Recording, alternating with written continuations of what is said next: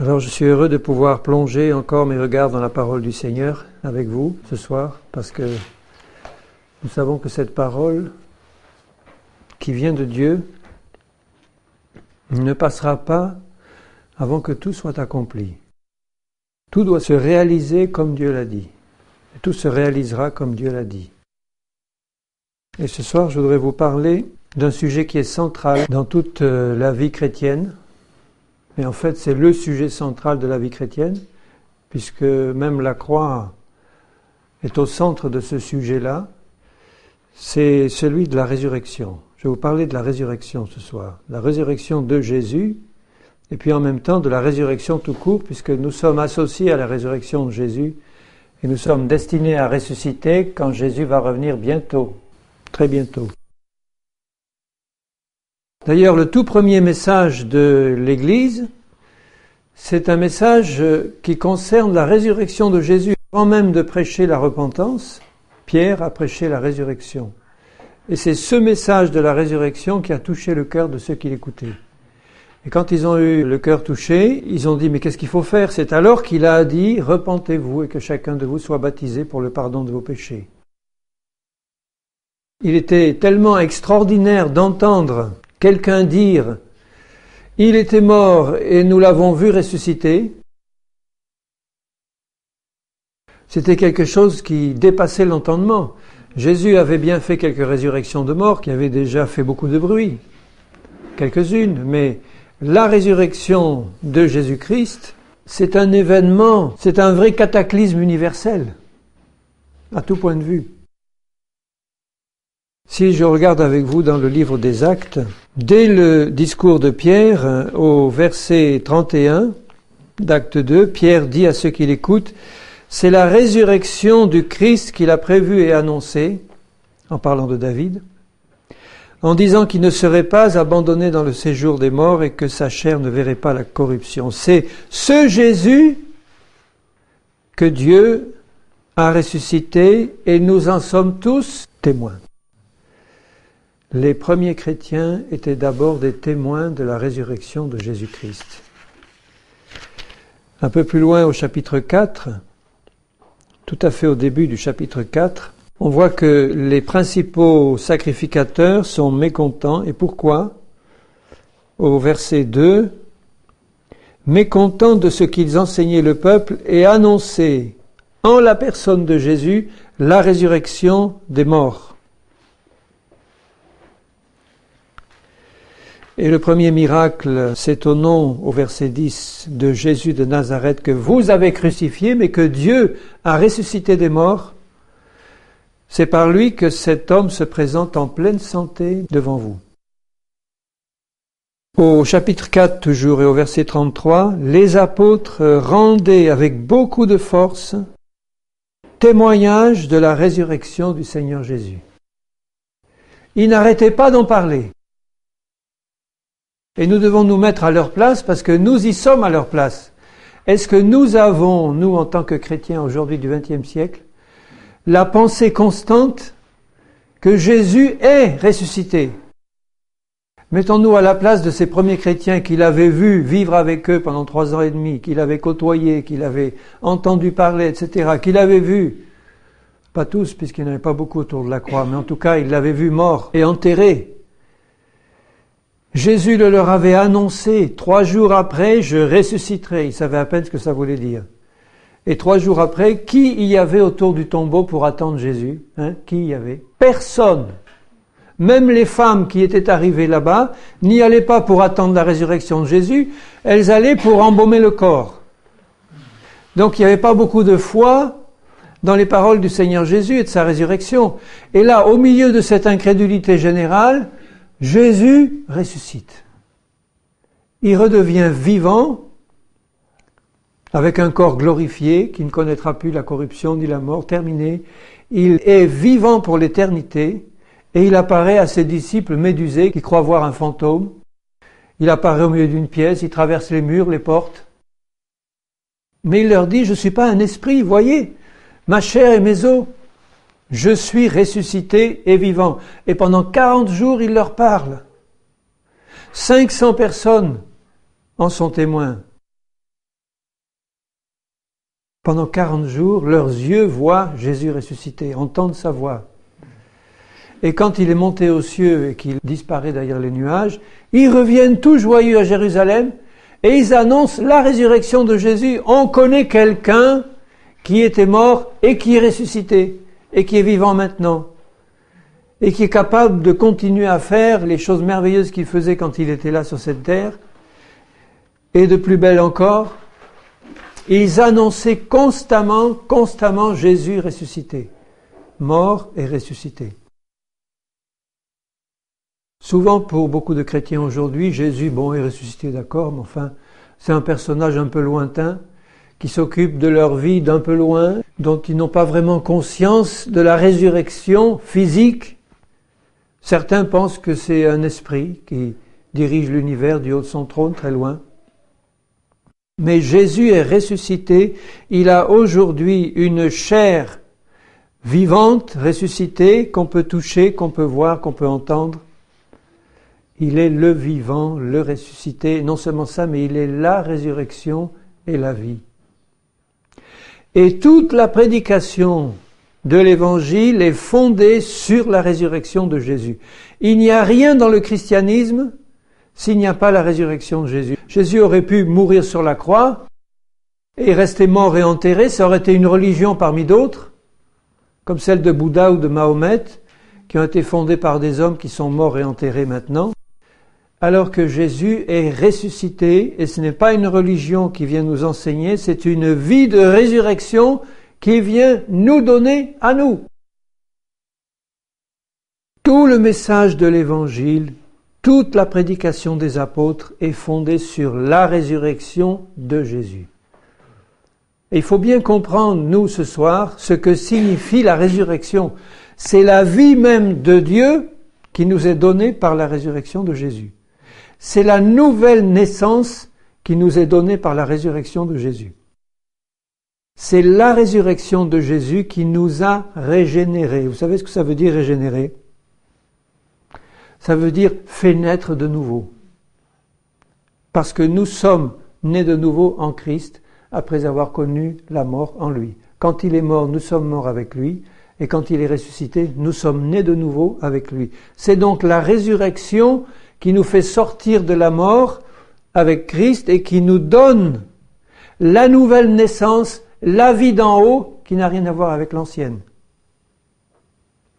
Et il faut vraiment que ça rentre dans nos esprits, que la vie nouvelle en Christ est une vie de résurrection, ce n'est pas un raccommodage de la vieille vie passée. Le Seigneur ne va pas reprendre notre vieille vie passée avec ses problèmes, ses difficultés, ses habitudes, ses traditions et puis rapiécer tout ça pour en faire quelque chose d'un peu meilleur. Il fait mourir tout ce qui est du passé en lui et il nous donne une vie nouvelle par sa résurrection, qui n'a rien à voir avec l'ancienne, sinon dans l'esprit de beaucoup de chrétiens. Il faut absolument qu'on sorte de ce marasme spirituel où on est embourbé à nous rappeler constamment notre vie passée, à vivre constamment de notre vie passée, de ses malédictions, de ses problèmes, et à nous penser, nous, comme des gens encore vivants d'une vie passée, alors qu'il nous a donné une vie nouvelle de résurrection qui n'a rien à voir avec l'ancienne, et que le Saint-Esprit veut révéler pleinement à nos cœurs pour qu'on puisse y marcher dedans, en nouveauté de vie. Dans la première épître de Pierre. Lisez ce qu'il nous dit. Première épître de Pierre, chapitre 1. C'est fantastique cette résurrection de Jésus. C'est pas simplement un retour à la vie de quelqu'un qui était mort, comme Lazare. C'est une irruption dans notre vie à nous d'une vie éternelle de Dieu entièrement nouvelle, fraîche, vivante pour l'éternité. Et quand Christ revient à la vie, c'est pour manifester la plénitude de la divinité dans toute sa vie. Première épître de Pierre, chapitre 1er, je lis à partir du verset 2. À ceux qui sont élus selon la préscience de Dieu le Père, par la sanctification de l'Esprit, pour qu'ils deviennent obéissants, et qu'il participe à l'aspersion du sang de Jésus, que la grâce et la paix vous soient multipliées. Béni soit Dieu, le Père de notre Seigneur Jésus-Christ, qui, selon sa grande miséricorde, nous a régénérés, ça veut dire nous a fait naître de nouveau pour une espérance vivante, par la résurrection de Jésus-Christ. Il nous a régénérés par la résurrection de Jésus-Christ d'entre les morts, pour un héritage. Le voilà, cet héritage de la vie nouvelle avec tout ce qu'il y a dedans. Un héritage qui ne se peut ni corrompre, ni souiller, ni flétrir, qui vous est réservé dans les cieux, mais que nous avons dès maintenant par la présence du Seigneur ressuscité en nous, et qui nous a ouvert la porte à cet héritage merveilleux, dans lequel nous vivons déjà maintenant, par la foi en Christ.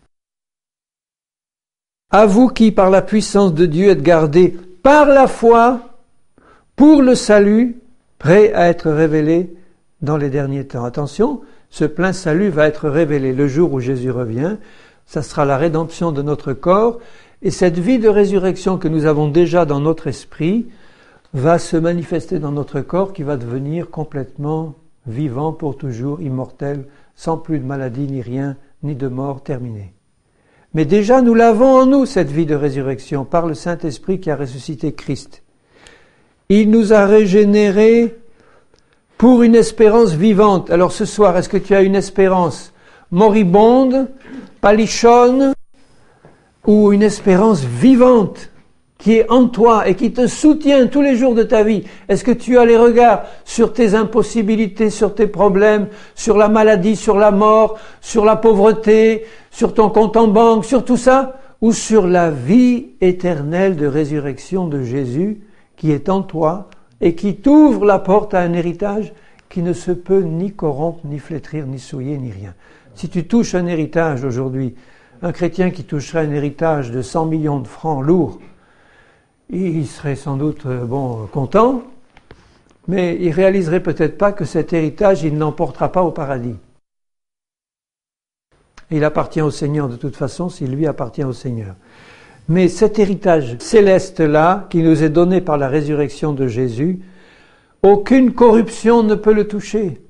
Toutes les richesses de Dieu sont pour toi, qui as maintenant Jésus ressuscité dans ton cœur. Tu es un esprit avec Jésus ressuscité. Tu es chair de sa chair, os de ses os. Il t'a donné cet héritage, tu n'as plus à te plaindre de quoi que ce soit. Sinon, à te réjouir, même dans les afflictions, sachant que toutes ces choses ont une fin et que tu es destiné à un héritage merveilleux en Christ que tu as déjà. Un peu plus loin d'ailleurs, le même Pierre dit au chapitre 3, à propos du baptême au verset 21, il dit Cette eau du déluge était une figure du baptême. Le baptême n'est pas la purification des souillures du corps, mais c'est l'engagement d'une bonne conscience envers Dieu, et qui maintenant vous sauve, ce baptême, aussi par la résurrection de Jésus-Christ, puisque le baptême est une représentation vivante de la mort et de la résurrection en Jésus, plongé dans l'eau c'est la mort, sorti c'est la résurrection, c'est ce baptême qui vous sauve par la résurrection de Jésus-Christ. Toujours le baptême en soi n'aurait aucune valeur s'il ne s'appuyait pas pleinement sur la résurrection de Jésus qui a suivi sa mort. et qui maintenant vous sauve par la résurrection. Donc, salut t'est donné par la résurrection de Jésus. Le salut, c'est la nouvelle naissance en Christ, t'est donné par la résurrection de Jésus, par sa vie nouvelle qui habite en toi. Regardez dans la première aux Corinthiens, au chapitre 15. Tout ce que Paul a reçu comme révélation sur la résurrection, cette vie de résurrection qui n'a rien à voir avec la vie terrestre, la vie charnelle, la vie des hommes. Dans 1 Corinthiens 15, il dit au verset 13, s'il n'y a pas de résurrection des morts, Christ non plus n'est pas ressuscité. Donc Christ n'est pas ressuscité pour lui seul, il est ressuscité pour nous tous qui croyons en lui, donc tous ceux qui croient en lui sont ressuscités en lui et avec lui. Toute la prédication de l'Évangile, je le répète, est fondée sur la résurrection de Jésus-Christ. Si Christ n'est pas ressuscité, notre prédication est vaine. On n'a rien à dire si Christ n'est pas ressuscité. Tandis que s'il est ressuscité, tout s'appuie là-dessus et on peut annoncer un message en un Dieu vivant. Et votre foi aussi est vaine. Ça sert à rien de croire en Jésus si la réalité de la résurrection n'est pas vraiment dans ton cœur. Il ne faut pas que ce soit simplement des mots.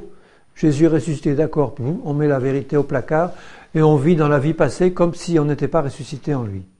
On continue à traîner nos boulets passés comme si on n'était pas ressuscité, tout en disant oui, Jésus est ressuscité, mais enfin on n'a pas la révélation de ce que ça représente. Il dit au verset 17, il le répète, si Christ n'est pas ressuscité, votre foi est vaine. Il ne dit pas qu'on ne peut pas avoir la foi, il dit que la foi est vaine, elle ne sert à rien. Vous êtes encore dans vos péchés, parce que c'est la résurrection qui nous donne la nouvelle naissance, et par conséquent aussi ceux qui sont morts en Christ sont perdus. Si c'est dans cette vie seulement que nous espérons en Christ, nous sommes les plus malheureux des hommes. Il y a tant de chrétiens qui sont les plus malheureux des hommes parce que leur espérance n'est pas fondée sur la résurrection, elle est fondée sur un Christ qui n'est pas vraiment ressuscité pour eux, pas vivant maintenant, aujourd'hui. Mais maintenant, au verset 20, Christ est ressuscité, il est les prémices de ceux qui sont morts. Puisque la mort est venue par un homme, Adam, qui a péché, qui a entraîné dans la mort toute l'humanité, c'est aussi par un homme qu'est venue la résurrection des morts qui t'habitent maintenant. Ça, c'est de moi qui rajoute. Hein. Et comme tous meurent en Adam, de même aussi tous revivront en Christ. Mais attention, pas tous n'importe comment, tous ceux qui croient en lui. Christ comme prémisse, puis ceux qui appartiennent à Christ lors de son avènement, alors viendra la fin. Et il développe longuement. Il répond à la question de ceux qui disent Mais comment les morts, avec quel corps reviennent-ils les ressusciter Il dit au verset 35 Avec quel corps viennent-ils? Insensé, ce que tu sèmes ne reprend pas vie s'il ne meurt. Et ce que tu sèmes est différent de ce qui va sortir de la semence. Quand tu sèmes un gland de chêne, ce gland de chêne n'a rien à voir avec le chêne qui sortira de là. Si tu compares un chêne de 500 ans avec un petit gland, ils n'ont absolument rien à voir l'un à l'autre apparemment, et pourtant l'un est sorti de l'autre.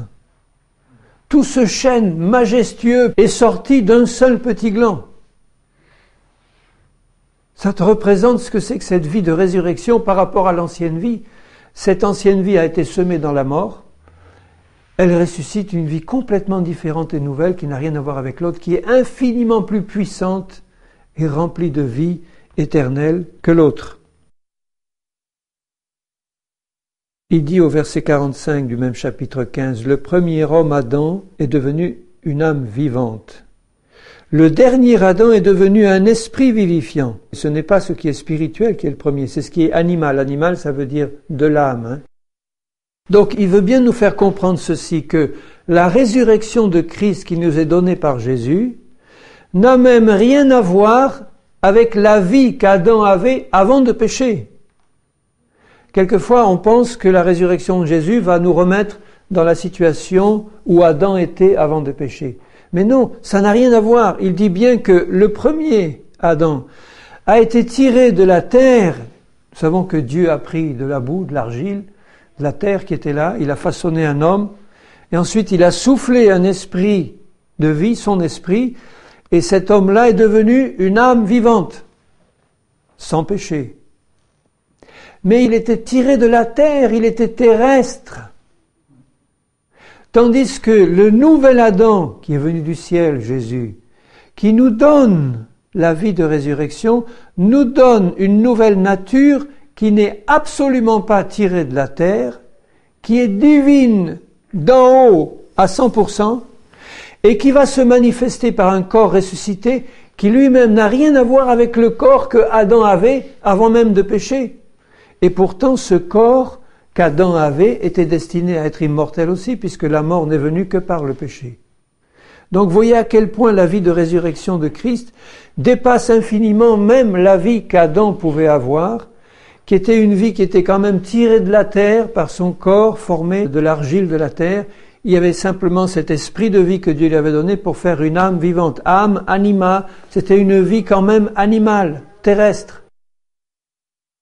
Alors que la vie que nous donne le Seigneur du ciel est une vie spirituelle céleste, y compris dans le corps qui sera un corps spirituel céleste qu'on pourra toucher, voir et sentir, pas comme un corps d'esprit, mais un corps solide comme celui de Jésus, mais qui sera d'une matière spirituelle céleste qui est celle de la vie de résurrection.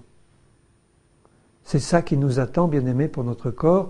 Mais c'est la même vie de résurrection que nous recevons d'en haut à notre nouvelle naissance. Tel est le terrestre, il dit au verset 48, tels sont aussi les terrestres. Tel est le céleste, Jésus, tels sont aussi les célestes, nous. Il nous appelle, nous, hommes, les célestes. Alors est-ce que dans ton esprit, tu es terrestre ou tu es céleste? Je te pose franchement la question. Est-ce que dans ta tête aujourd'hui, tu es encore terrestre ou tu es céleste Est-ce que tu as fait la croix sur tout ce qui est terrestre et du passé parce que Jésus dit que tu es une nouvelle nature Ou est-ce que tu vis encore sans cette révélation merveilleuse de la résurrection céleste que tu as en toi Ce que je dis, frère, c'est que la chair et le sang, c'est-à-dire cette nature d'Adam, ne peuvent pas hériter le royaume de Dieu et que la corruption, puisqu'elle a été souillée par le péché, n'hérite pas l'incorruptibilité. Et il explique au retour de Jésus, notre corps physique qui est encore soumis à la mort, mais qui a une promesse de résurrection, va être entièrement changé au retour de Jésus. Ceux qui sont morts en Christ, qui étaient prêts à être enlevés au moment où ils sont morts, mais qui l'ont pas été parce que Jésus n'est pas revenu, ceux-là vont ressusciter les premiers, avec un corps glorifié, ressuscité comme le corps de Jésus, semblable au corps de Jésus, et nous les vivants, en un instant, nous recevrons la rédemption de notre corps, la résurrection du corps, et nous serons changés en un clin d'œil, et comme nous serons et nous sommes d'une nature céleste, ce qui est céleste va être attiré par les choses d'en haut. Si tu es encore terrestre, tu vas rester en bas. Tu seras attiré par la terre. Si tu es céleste parce que tu es né de nouveau et tu as compris la révélation de la vie d'en haut, tu vas être attiré par ce qui est d'en haut. D'ailleurs, dès maintenant, tu n'es plus attiré que par ce qui est d'en haut, si tu es vraiment céleste. Je vous lis dans Romains.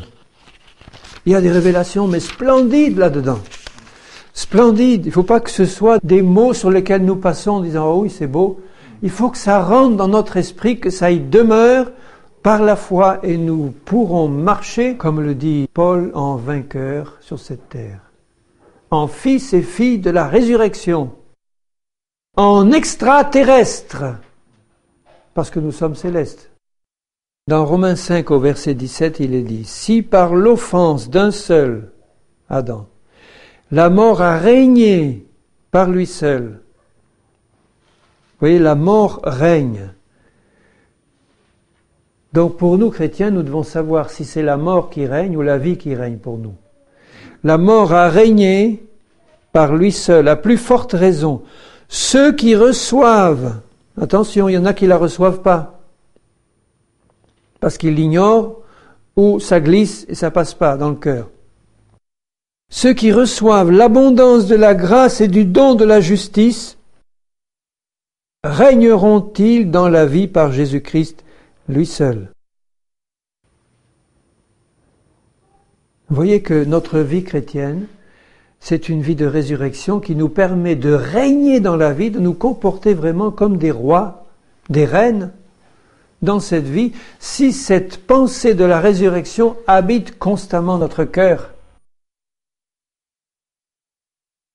Au chapitre 6, il dit, Au verset 3, Ignorez-vous que nous tous qui avons été baptisés en Jésus-Christ, c'est en sa mort que nous avons été baptisés. Vous voyez que la croix est au centre de la résurrection. Il n'y aurait pas de résurrection sans mort préalable.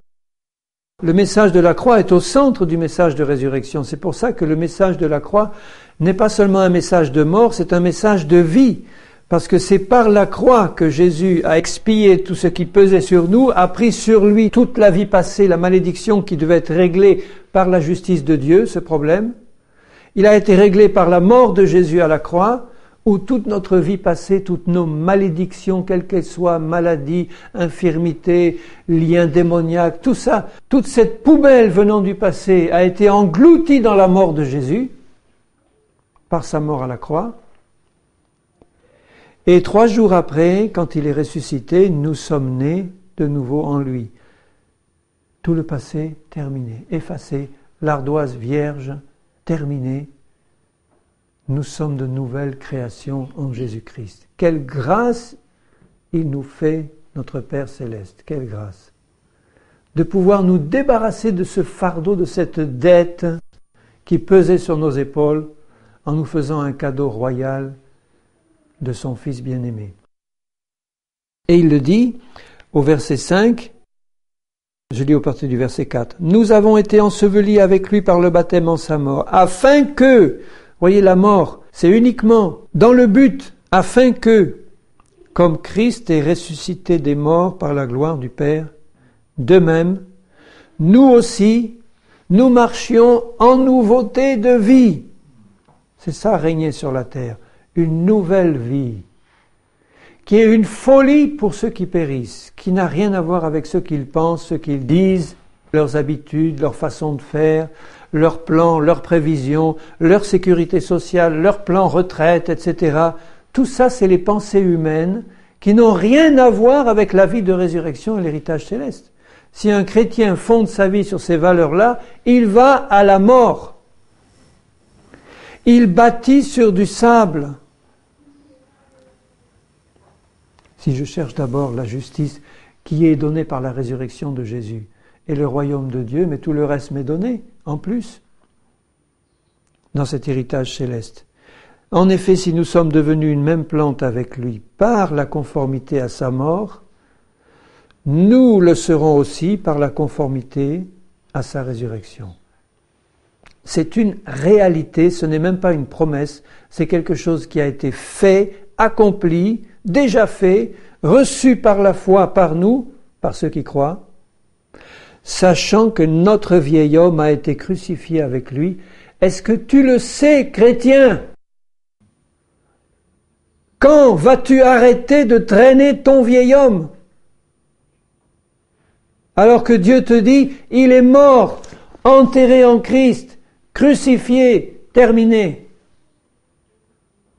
Et maintenant, tu es participant d'une vie nouvelle en Christ, qui se renouvelle à la ressemblance de celui qui l'a créé dans la sainteté, dans la vérité, et qui est entretenu par ta foi en Christ et ta foi en la parole du Seigneur.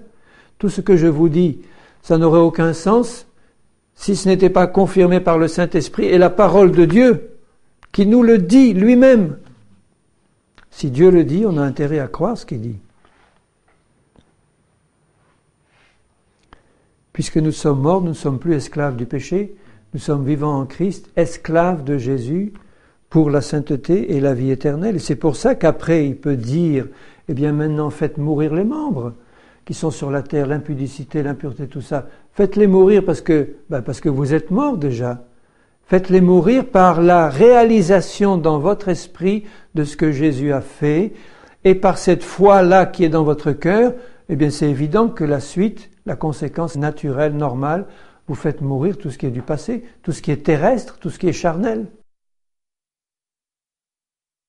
Donc les chrétiens qui se livrent encore aux œuvres de la chair, ou ce sont des chrétiens qui n'ont pas reçu, et c'est ce que j'ai tendance à penser, qui n'ont pas reçu dans leur cœur par incrédulité ou ignorance la révélation de cette vie nouvelle de résurrection, ou alors ce sont des rebelles qui l'ont reçu, mais qui volontairement retournent à ce qu'ils ont vomi. Et là, leur sort sera terrible. Comment est-ce possible? Et il ajoute au verset 22 du même chapitre 6, Maintenant, étant libéré du péché, donc de la vieille nature, etc., et devenu esclave de Dieu, vous avez pour fruit normal de la vie de résurrection la sainteté et pour fin la vie éternelle. Vous êtes destiné à ça. Car le salaire du péché, c'est la mort, mais le don gratuit de Dieu, c'est la vie éternelle, la vie de résurrection. En Jésus-Christ notre Seigneur, quel don Est-ce que nous ne négligeons pas trop souvent ce don en encombrant nos esprits de toutes ces choses de notre vie passée Dans 2 Corinthiens, il nous révèle encore des choses extraordinaires. Dans 2 Corinthiens, au chapitre 5, je commence au verset 14. Car l'amour de Christ nous presse. C'est un mot très fort, presse, hein, là. C'est quelque chose qui, ah, qui pousse à fond. L'amour de Christ nous presse parce que nous estimons que si un seul est mort pour tous, tous, donc, sont morts. Je voudrais, par la grâce du Seigneur, vous faire bien comprendre ceci, que la mort de Christ avait un caractère unique. La mort d'un pécheur lui ouvre la porte de la perdition éternelle. La perdition éternelle est la conséquence normale du péché. Le péché conduit à la mort celui qui le pratique c'est pas simplement une mort physique, c'est une mort spirituelle. La mort de Jésus n'a pas été une mort spirituelle, contrairement à tant de personnes qui l'enseignent. Il a pris nos péchés dans son corps sur le bois. C'est son corps qui a reçu la mort et qui a connu la mort. Son esprit n'a jamais été contaminé par le péché, jamais été touché par le péché. Il est resté l'agneau pur et sans tache qui connaissait la mort qui est tombée sur lui dans son corps, qui était un corps éternel, qui ne devait pas connaître la mort. Et la mort de Jésus a ceci de particulier, c'est que c'est une mort expiatoire, c'est-à-dire qui a payé à notre place. Mais c'est une mort qui donne la vie. Alors que la mort, qui est la conséquence du péché, du pécheur qui pratique le péché, c'est une mort qui conduit à la seconde mort. Alors que la mort de Jésus a permis à la justice de Dieu d'être satisfaite, mais cette mort de Jésus conduit à la vie parce qu'il n'était pas possible que la mort le retienne, lui le juste. Vous voyez ça dans Acte 2, il le dit. Il n'était pas possible que la mort le retienne, retienne son corps et lui fasse connaître la corruption. Et cette mort de Jésus a en réalité été une victoire parce qu'elle ouvre la porte à la résurrection de Christ. C'est une mort qui conduit à la vie de résurrection. Donc, si nous sommes morts en Christ, c'est pas la même mort que la mort du péché. Nous étions déjà morts par nos péchés, et en Christ, sa mort fait mourir la mort. La mort de Christ tue la mort dans laquelle nous étions, nous, par nos péchés. Nous étions déjà morts par nos offenses et nous mourrons en Christ, mais nous mourrons à notre mort passée. C'est-à-dire que dans la mort de Christ, toute notre vie de mort passée trouve une fin. La mort, c'est la fin de quelque chose. Donc dans la mort de Christ, toute notre mort passée trouve sa fin et nous pouvons renaître à une vie de résurrection qui nous est donnée par la résurrection de Jésus qui a suivi sa mort. C'est peut-être un peu difficile à comprendre, mais le Saint-Esprit, je suis sûr, vous l'explique parce qu'il faut comprendre ça, que la mort de Christ a quelque chose d'unique. C'est pas la mort d'un pécheur, c'est la mort d'un substitut, c'est la mort d'un remplaçant, mais une mort qui donne la vie parce qu'elle débouche sur la résurrection.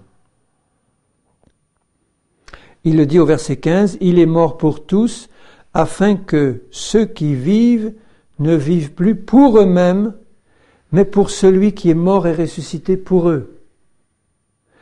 La mort d'un pécheur, c'est la mort de quelqu'un d'égoïste et de centré sur lui. La vie de péché, c'est une vie centrée sur soi.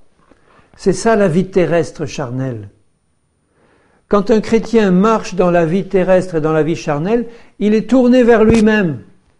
Il ne pense qu'à ses intérêts personnels. Il défend ses intérêts personnels. Il parle de ses exploits personnels. Il parle de ce qu'il a fait lui. Il parle de ses besoins. Il est centré sur lui encore. Il est encore centré sur ce qui est terrestre, sur ce qui est mortel, sur ce qui est charnel. Et il dit bien, si tu es passé par la mort de Jésus et par sa résurrection, tu comprends maintenant que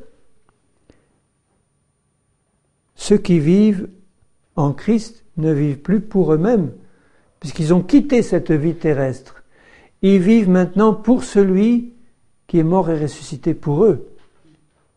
Donc vous voyez qu'au centre de la vie de résurrection, il y a l'amour de Christ, l'amour de Dieu.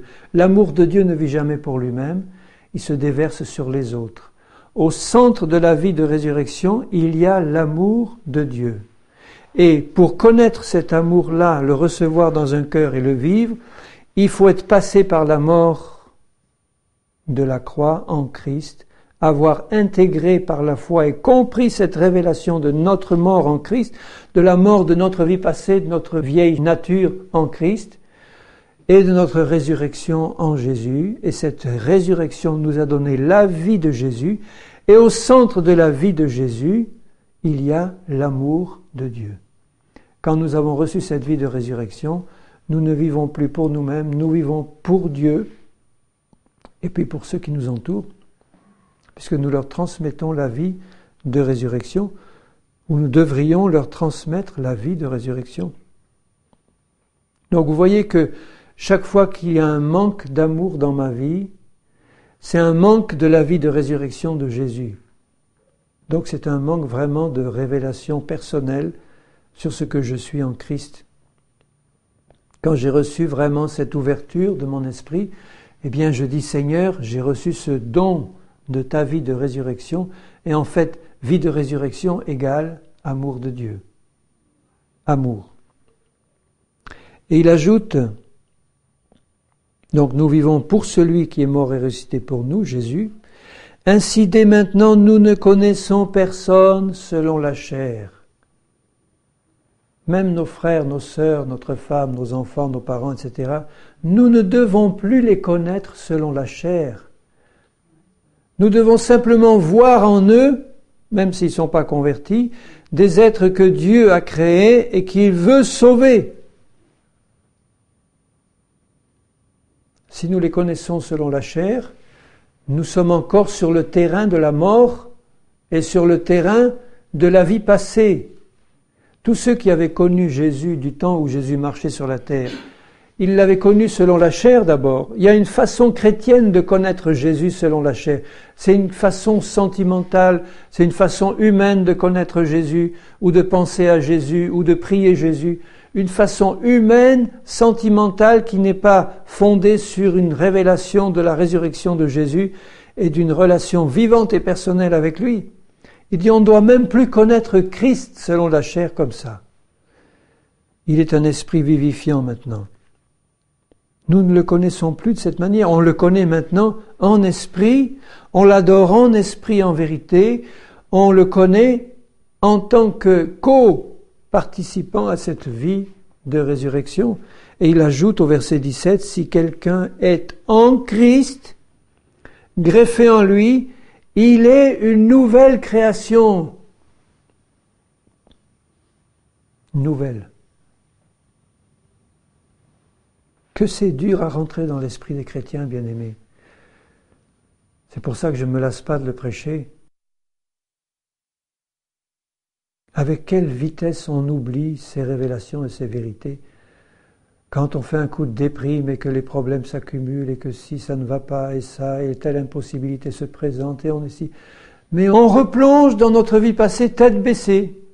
Au lieu de relever la tête en disant Seigneur, je suis en train de vivre une vie de résurrection en toi, mais je règne dans cette terre, je sais que je participe à ta vie de résurrection, tu es vivant.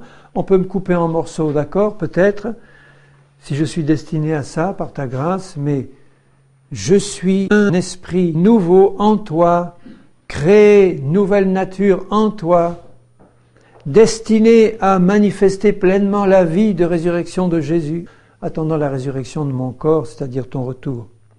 Les choses anciennes sont passées. Si elles sont passées, n'en parle plus. Sinon pour témoigner de ce que Jésus a fait pour toi, d'accord Mais ne parle plus de ton passé. Sinon, encore une fois, pour en parler à celui qui y est encore dans des situations que tu as connues dans le passé et à qui ça va parler. Mais n'en parle plus au sens de donner aux autres l'impression que ça pèse encore sur toi. Arrête de parler de tes malédictions passées, de ce que tu étais dans ton enfance, de ce que tu étais dans ta vie passée, de ce qui a influencé ta vie présente. Tout ça, c'est mort en Christ. Tu es une nouvelle créature entièrement créée par le Seigneur de manière nouvelle. Toutes choses sont devenues nouvelles. Et cela vient de Dieu qui nous a réconciliés avec lui par Christ et qui nous a donné le ministère de réconciliation, c'est-à-dire d'être témoin de la résurrection de Christ.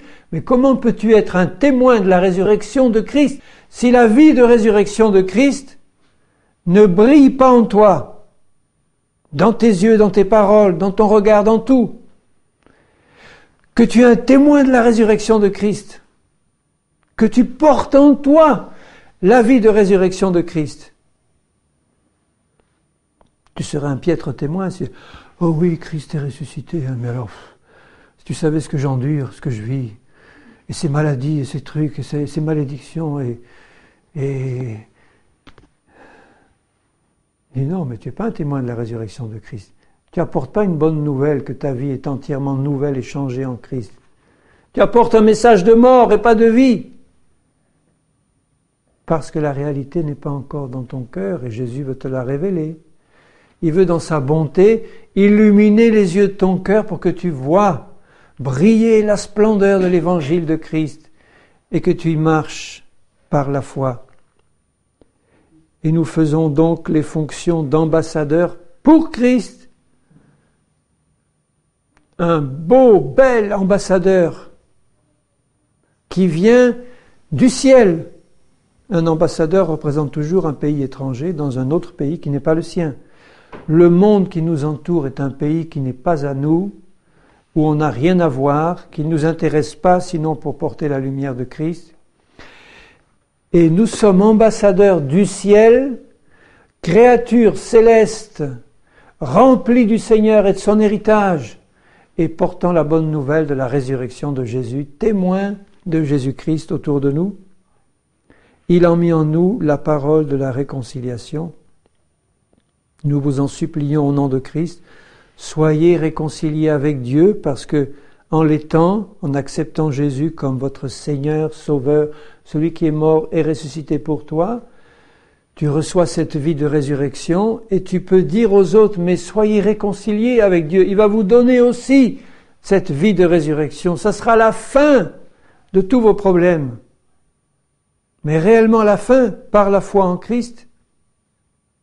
Non pas que vous n'aurez plus de problème du tout, vous en aurez peut-être plus qu'avant, mais ça sera la fin dans ce sens que celui qui est la solution, parce qu'il est la résurrection et la vie, vit en toi et tu te confies en lui et tu n'as rien à craindre. Alléluia. Alors je termine par ce verset 1 et 2 du chapitre 6 de 2 Corinthiens. Puisque nous travaillons avec Dieu, J'aime bien cette expression. Nous travaillons avec Dieu maintenant.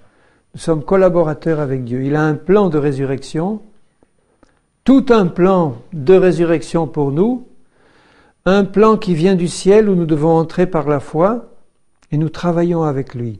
Nous vous exhortons à ne pas recevoir la grâce de Dieu en vain.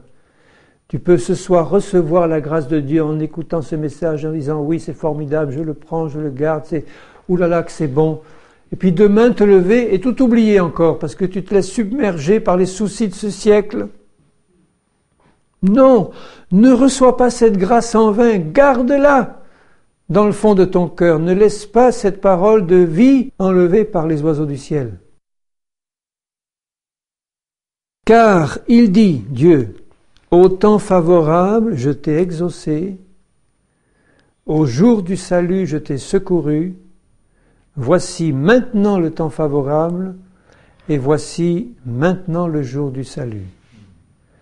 Que ce soit pour toi une lumière nouvelle sur ce que tu es en Christ, et que cette parole te donne, par le Saint-Esprit, un éclairage nouveau sur cette vie de résurrection qui habite en toi, pour que tu puisses y marcher et que tu puisses briller comme un flambeau dans ce monde perdu. Amen.